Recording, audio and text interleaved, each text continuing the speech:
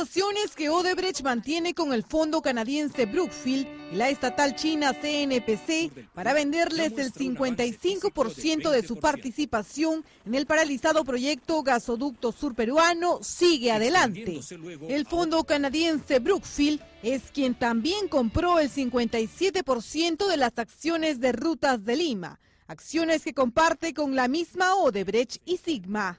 Ante esto, el primer ministro Fernando Zavala dejó en claro que la empresa brasileña, cuestionada por supuesto pago de coimas a funcionarios peruanos, no se beneficiará más con sus ventas. Nosotros cuidando el debido proceso, no vamos a permitir que Odebrecht se beneficie de cualquier venta de sus posiciones en el Perú y nosotros estamos justamente para eh, preocuparnos de defender los intereses del Estado y de los ciudadanos ante la coincidente aparición del fondo canadiense Brookfield en los planes de venta de Odebrecht, un sector de la prensa llegó a especular que podría existir una relación entre ambas.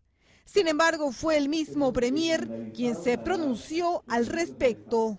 Por el tema de Brookfield y Odebrecht no tenemos conocimiento que sean empresas relacionadas. De la información que nosotros tenemos y es pública, Brookfield es un fondo de inversión de Canadá. Eh, lo que sí existe es, eh, ha comprado algunos activos de Odebrecht, entendemos también en otros países, pero no vemos ninguna relación. Cabe indicar que el ministro de Economía, Alfredo Thorn, indicó que si Odebrecht vende su participación en el gasoducto sur peruano, este dinero será depositado en un fideicomiso, por si en un futuro ese dinero pueda servir para algún tipo de indemnización al Estado peruano.